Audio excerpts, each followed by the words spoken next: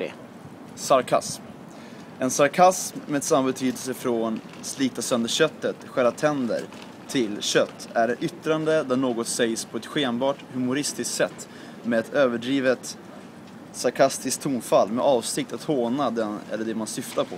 Sarkasmens sakinnehåll är ofta en stark överdrift.